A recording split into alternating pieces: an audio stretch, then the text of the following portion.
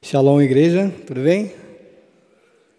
Bom, o apóstolo Alexandre nos apresentou, né? A maioria de vocês nos conhece. E, em primeiro lugar, eu agradeço a Deus profundamente do meu coração, porque não por estar aqui em cima hoje, mas pela transformação que Ele fez na minha vida. E hoje nós vamos saber um pouco, dentro da palavra, o que Ele vem fazendo através da minha vida. E é o que Deus espera que todos nós venhamos a fazer. Amém? E agradeço também ao apóstolo Alexandre e à profetisa Cátia por essa oportunidade de estar falando do nome santo de Jesus. É uma coisa que às vezes a gente não espera e a gente não pede, mas como ele mesmo falou, Jesus chama. Cabe a nós ouvido atento, né, ao Espírito Santo, para que a gente ouça o seu chamado e faça a sua obra conforme a tua vontade. Amém? Temos algum visitante aqui hoje? Não? Todos a casa? Todos a casa, né? Glória a Deus. É... Jesus me deu um tema para essa palavra que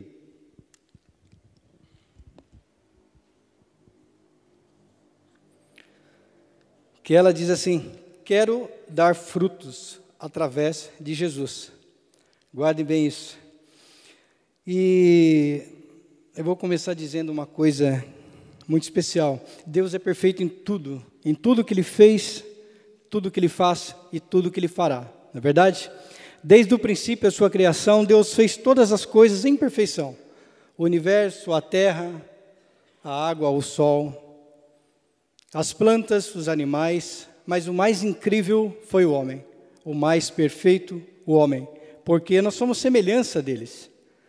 Nós somos semelhança deles porque, desde o princípio, Jesus estava com Deus.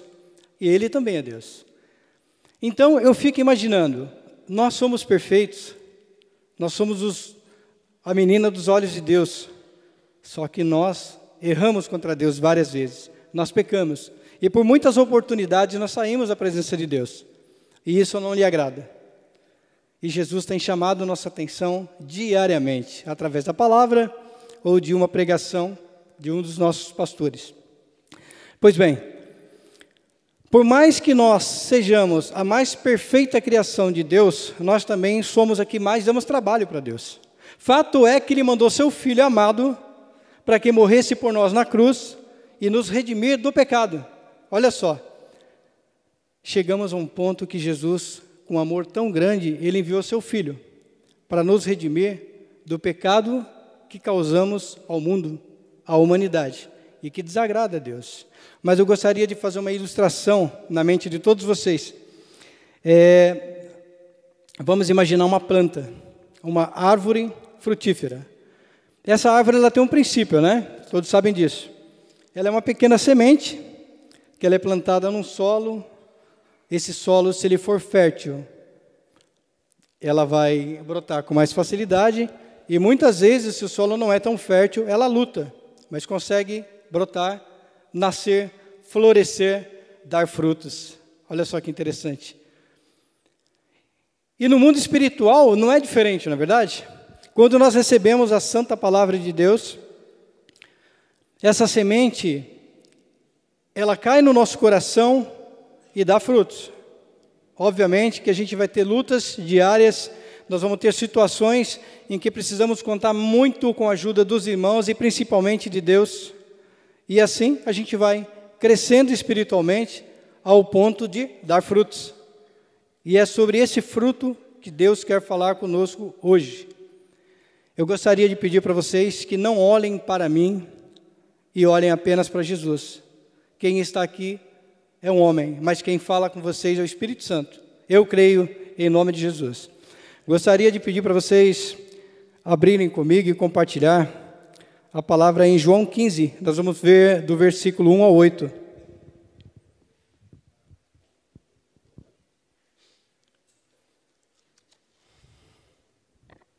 Aleluia, louvado seja Deus. Aleluia. João 15, Jesus aqui faz uma parábola sobre uma videira. E ele diz no versículo 1: Eu sou a videira verdadeira, e o meu pai é o agricultor. Todo ramo que estando em mim não der frutos, ele o corta, e todo o que dá fruto, limpa, para que produza mais frutos ainda. Vós já estáis limpos pela palavra que tenho falado. Permanecei em mim, e eu permanecerei em vós. Como não pode o ramo produzir fruto de si mesmo, se não permanecer na videira, assim nem vós o podeis dar. Se não permanecerdes em mim, eu sou a videira, vós os ramos. Quem permanece em mim e eu nele, esse dá muito fruto, porque sem mim nada podeis fazer. Se alguém não permanecer em mim, será lançado fora, a semelhança do ramo, e secará, e o apanha, lança no fogo e queima. Se permanecerdes em mim, aleluia, as minhas palavras permanecem em vós. Pedires o que quiserdes, e vos será feito. Nisto é glorificado meu Pai, em que deis muito fruto, e assim vos tornareis meus discípulos. Tremendo essa passagem, nós vamos primeiro ficar aqui nesses oito primeiros versículos e vamos entender um pouco o que Jesus está falando conosco nessa noite. É um estudo que eu creio que todos nós conhecemos, mas Jesus ele fala da mesma forma ou de forma diferente com cada um de nós, e cada vez que ele fala, ele acrescenta algo superior, algo tremendo, algo sobrenatural nas nossas vidas, se nós cremos. Amém? Então aqui Jesus diz: Eu sou a videira verdadeira. Jesus não fala eu sou uma videira, ele fala eu sou a videira. Isso quer dizer que Jesus está falando e se referindo que ele é o único a única fonte de vida. A única fonte de vida para essa árvore frutífera. O que nós precisamos entender? Se ele é a única, não existe outro caminho a não ser Jesus. Então nós temos que, a partir daqui, observar apenas essa fonte, focar nessa fonte e seguir rumo a essa vida que ele fala e nos oferece. Tremendo, porque ele também diz que meu pai é o agricultor. Aqui ele diz que Deus ele cuida de nós. Deus ele está conosco o tempo todo, ele está cuidando de nós. No 2, todo ramo que estando em mim não der frutos, ele o corta.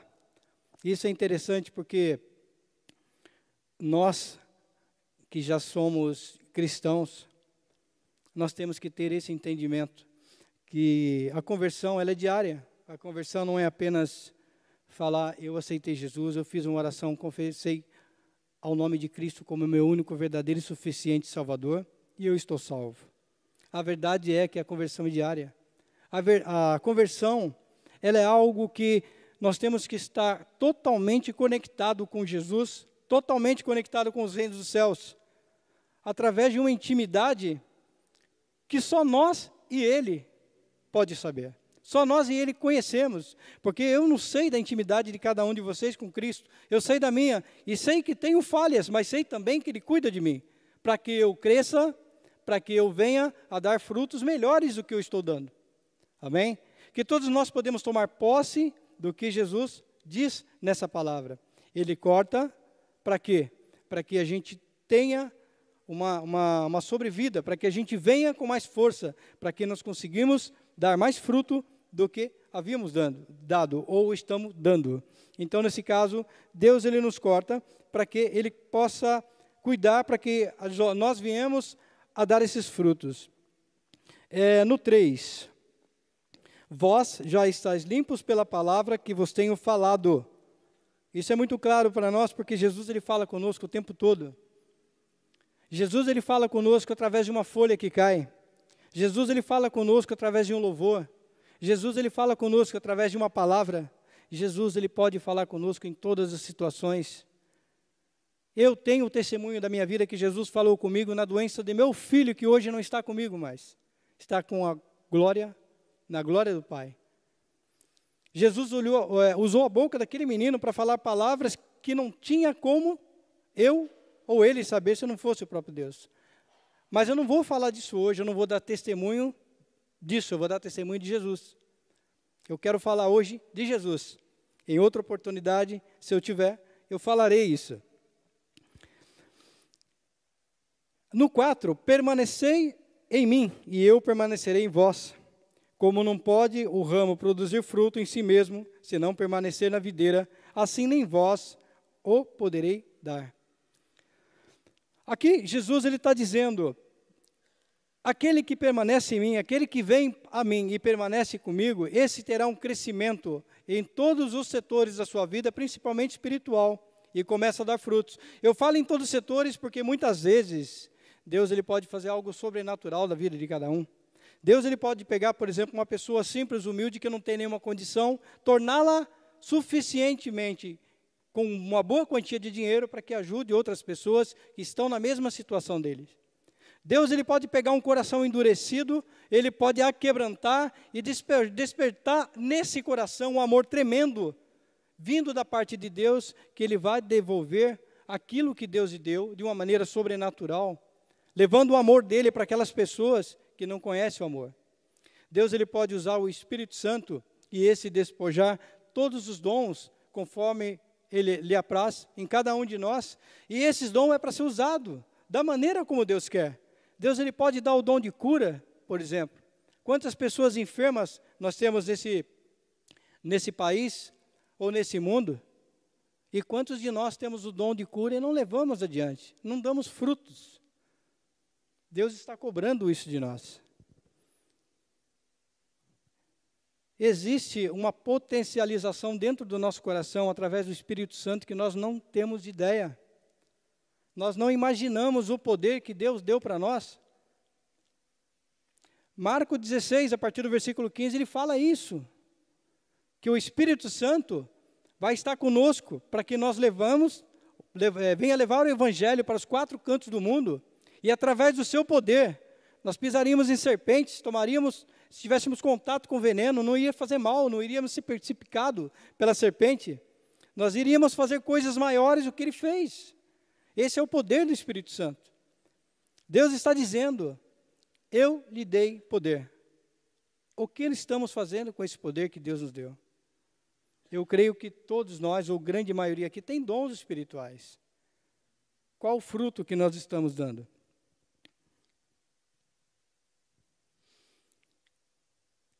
Eu sou a videira, no 5, vós os ramos. Quem permanece em mim e eu nele, esse dá muito fruto, porque sem mim nada podereis fazer. Se alguém não permanecer em mim, será lançado fora, a semelhança do ramo, e secará. Eu apanho, lançam fora e o queimam. Isso quer dizer, se a gente sair da presença de Deus, nós teremos grandes consequências para nossas vidas. Para chegar na presença de Deus, eu creio que nós somos frutos de alguma semente. Eu creio que alguém orou por nós. Alguém jejuou por nós. Alguém plantou a sementinha do Evangelho no nosso coração. E a gente deixou essa sementinha germinar.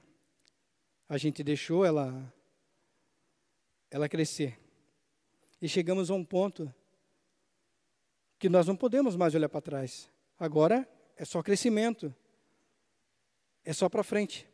E nós somos os discípulos que vamos fazer essa, essa tarefa agora.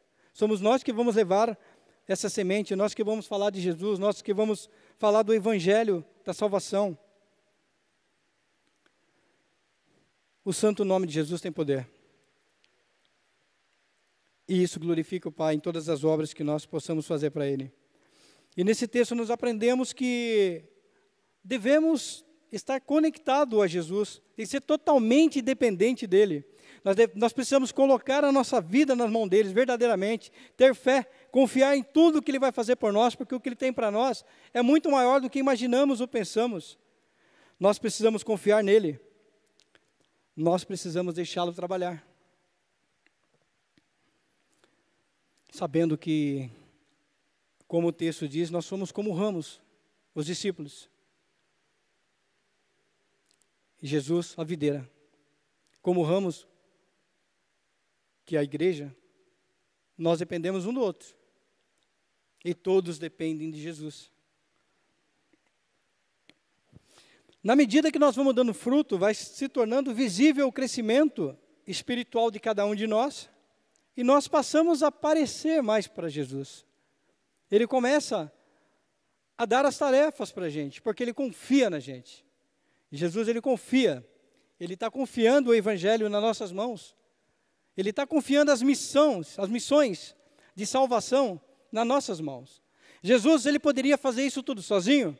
Ele poderia chegar aos quatro cantos do mundo, poderia falar do evangelho dele, poderia salvar, resgatar, curar.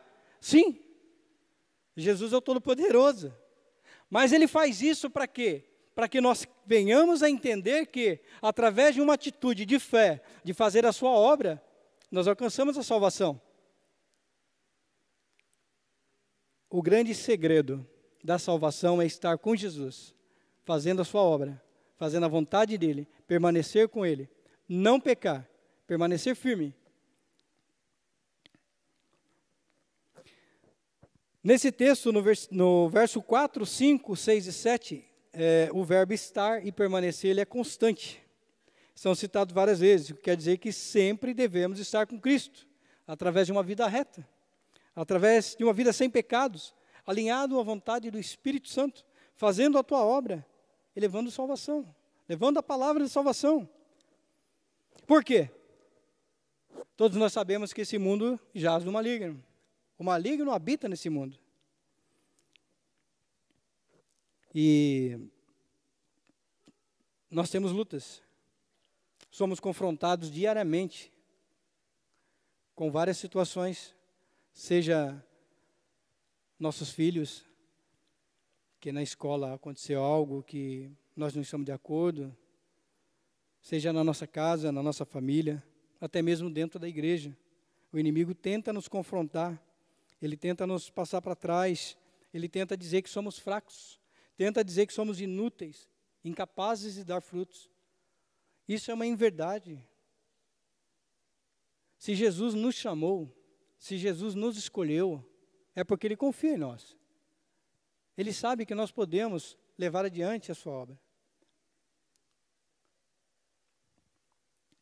Em João 10, 10, na primeira parte, Jesus, ele fala que o ladrão vem para roubar, matar e destruir.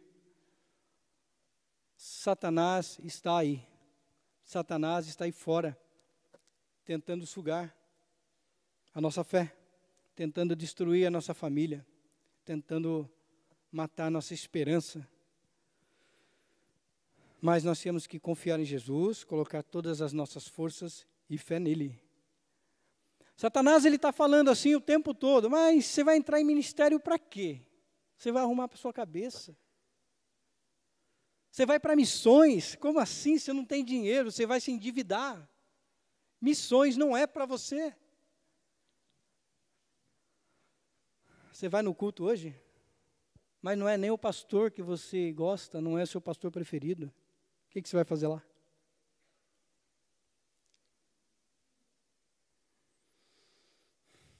Mas Jesus está falando: vinde a mim, vinde a mim como estás, e eu vos transformarei. Para a gente dar frutos, primeiramente o Evangelho tem que entrar no nosso coração nós temos que entender o significado da semente. E essa semente se tornar rema nas nossas vidas. Para a gente dar frutos, nós temos que começar a viver a palavra de Deus.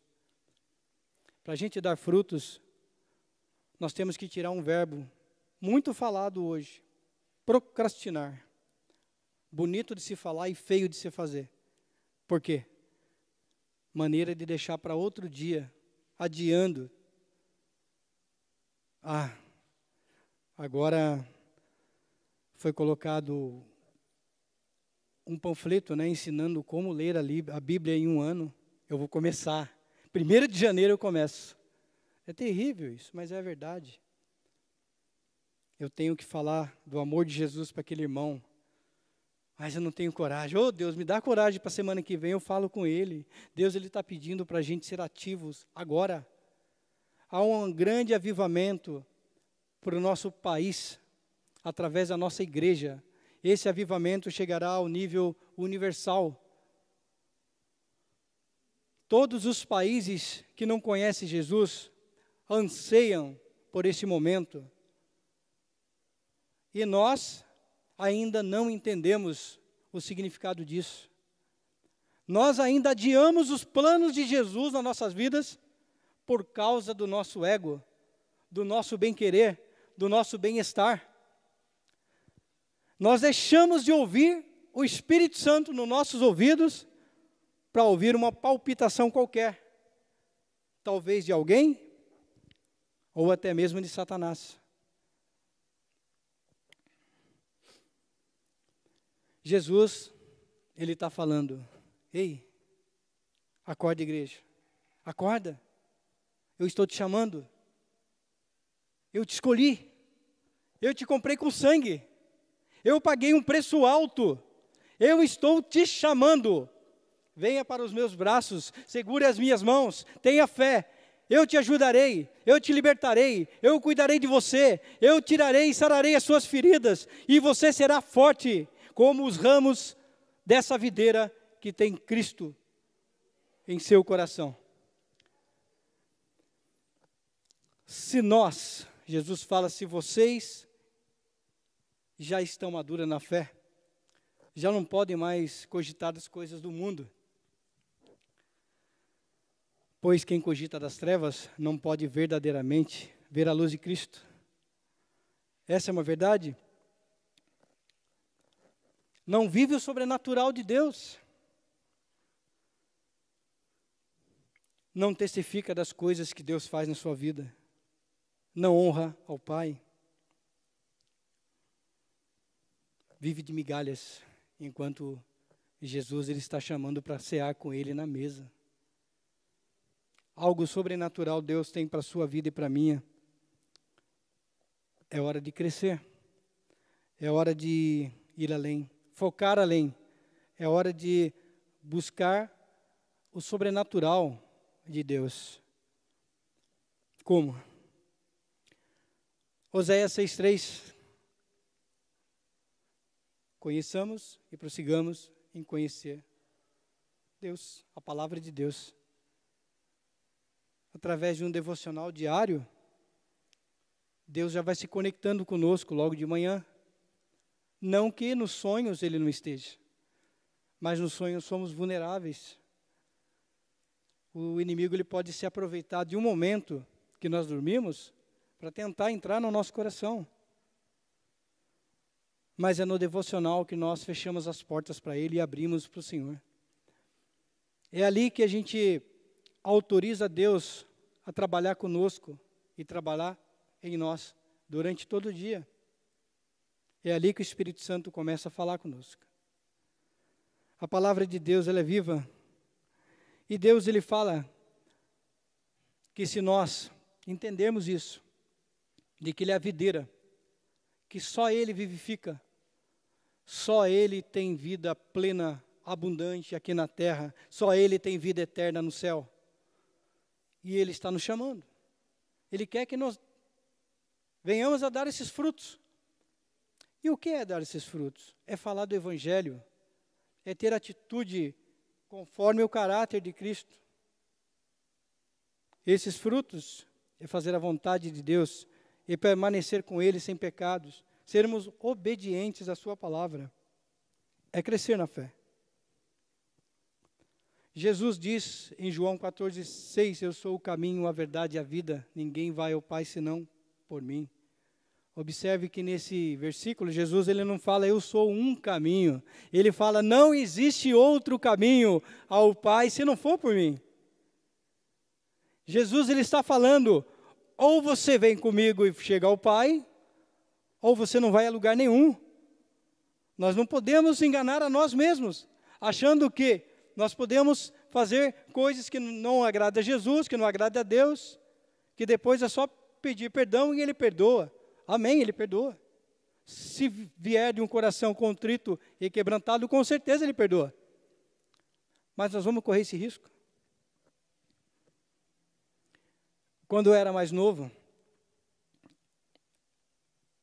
quando as pessoas falavam assim para mim, você tem que aceitar Jesus, você tem que buscar Jesus, você tem que viver Jesus.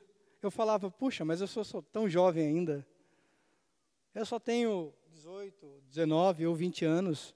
Tenho tanto para viver. Quando estiver mais velhinho lá, eu eu busco Jesus, eu me encontro com Ele, eu me conserto com Ele.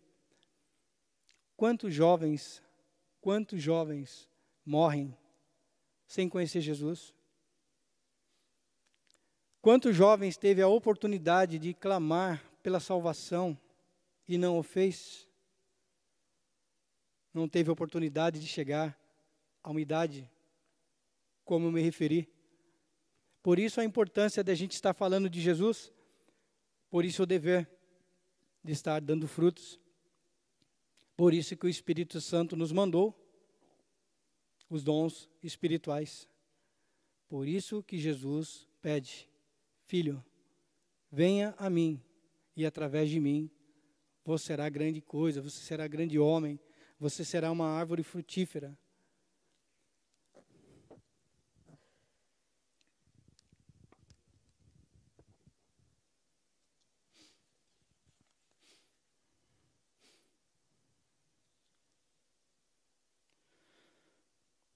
Jesus em João 5,51, ele diz: Eu sou o pão vivo que desceu do céu.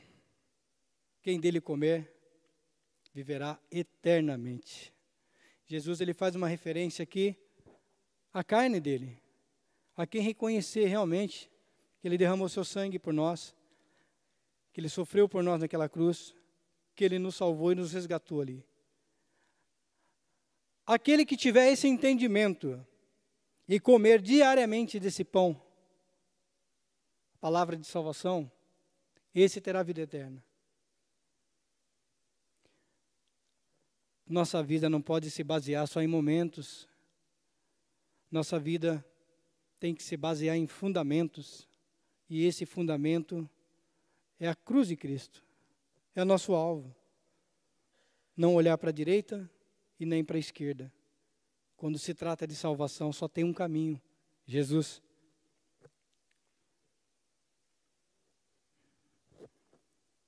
Aleluia. Que todos nós possamos, possamos profetizar na nossa vida, né? Que todos nós possamos falar para nós mesmos que eu quero dar frutos, eu quero permanecer em Jesus, eu quero estar com Cristo, eu quero ir para onde Ele me levar, eu quero fazer a tua vontade, eu quero ser alma viva e através da minha alma vivificar aqueles que estão mortos. Aí fora existe um mundo de trevas, um mundo que não pode ver a luz, a não ser que nós, como discípulos de Cristo, nos revestimos a sua armadura e enfrentamos o maligno, enfrentamos o mal. Jesus ele tem falado comigo sobre essa palavra, mas não para que a gente se assuste, mas na verdade é para se assustar mesmo. Jesus está voltando, os dias estão se encurtando. Quem tem acompanhado as notícias do dia a dia sabe que tudo que está na Bíblia, que Jesus disse que ia acontecer antes da sua vinda, está acontecendo. Tudo que Jesus falou está aí, batendo a nossa porta, está acontecendo. Mas precisa uma coisa acontecer para que Jesus volte. E nós estamos retardando a sua vinda. Porque nós não estamos cumprindo aquilo que ele está nos pedindo. Quantos de nós está deixando de falar de Jesus dentro do nosso quintal, para nossa família, para nossa cidade, pessoas que passam por nós em situações deprimíveis, ou de tristeza, ou de angústia, e nós deixamos ela passar e não falamos de Jesus. O maior projeto que Jesus tem através da nossa vida é levar a palavra de salvação. Nesse texto, ele fala que nós já estamos limpos. Nós estamos recebendo palavras. Nós estamos vivendo em santidade com o Senhor, cada dia transformados, cada dia vivificados. Mas procrastinar. Amanhã eu começo.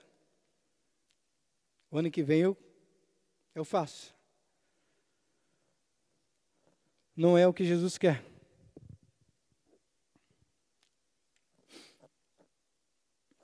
Vamos continuar no versículo 9 ao 16. João 15, 9 ao 16. Como o Pai me amou, também eu vos amei. Permanecei no meu amor. Se guardardes os meus mandamentos, permanecereis no meu amor, assim como também eu tenho guardado os mandamentos do meu Pai, e no seu amor permaneço. Tenho-vos dito essas coisas para que meu gozo esteja em vós e o vosso gozo seja completo. O meu mandamento é esse: que vos ameis uns aos outros, assim como eu vos amei. Ninguém tem maior amor do que esse, de dar a sua própria vida em favor aos seus amigos. Vós sois meus amigos, se fazeis o que vos mando. Já não vos chamo servo, porque o servo não sabe o que faz o seu senhor, mas tenho-vos chamados amigos, porque tudo quanto ouvi do meu Pai vos tenho dado a conhecer.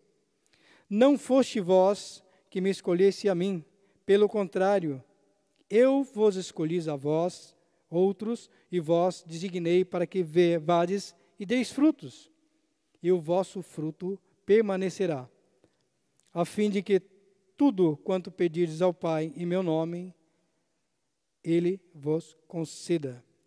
Até o 16. No 17 ele fala: Eu vos mando que vos ameis uns aos outros. Aqui Jesus ele está sendo específico e falando que o amor dele tem que ser levado a sério, o amor dele tem que ser entendido. E nós temos que ter muito temor, muito temor em fazer a obra de Deus. Nós não podemos fazer de qualquer jeito, porque nos será cobrado isso. Esse texto ele fala: aquele que não estiver de acordo com o que Deus quer, ele vai podar. Essa poda, ela vai acabar nos ajudando para um crescimento espiritual, mas ela pode ser dolorida.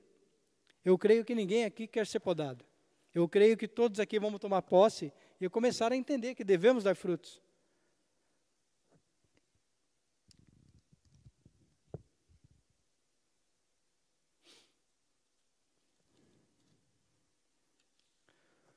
Jesus ele nos capacita porque ele nos escolheu, ele nos chamou, ele nos amou primeiro. Nós somos um povo eleito e escolhido por ele para a sua boa obra. No versículo 26 e 27,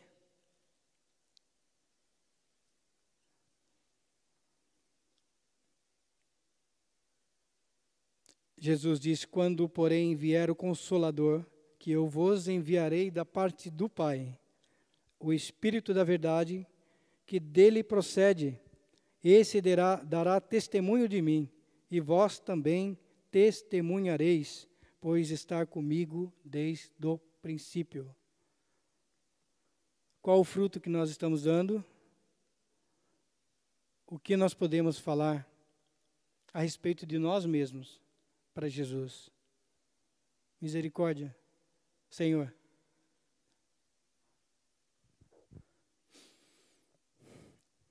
Jesus está nos dando uma missão.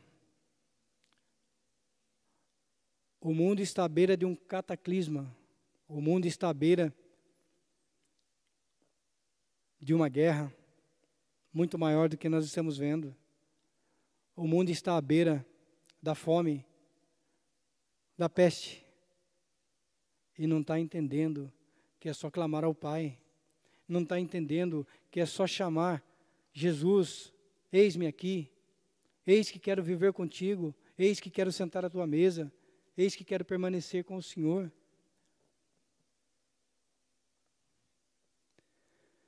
Irmãos, nós precisamos acordar.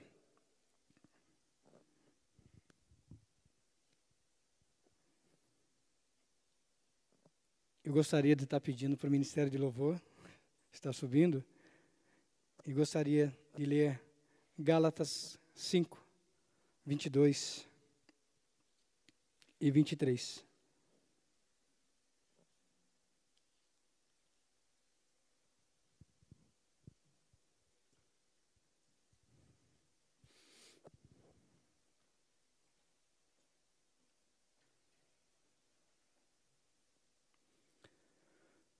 Mas o fruto do Espírito é o amor, alegria, paz, longanimidade, benignidade, bondade, fidelidade, mansidão, domínio próprio. Contra essas coisas não há lei. Glória a Deus. Que em nome de Jesus, todos nós podemos, possamos nos curvar a Ele. Que em nome de Jesus, nós recebamos uma porção ainda maior do fruto do Espírito ao qual Ele tem para nós. Mais ainda, que em nome de Jesus, Ele venha tirar as cegueiras dos nossos olhos. Que em nome de Jesus, nós possamos entender, compreender e dar frutos para a sua honra e glória. E glória a Deus.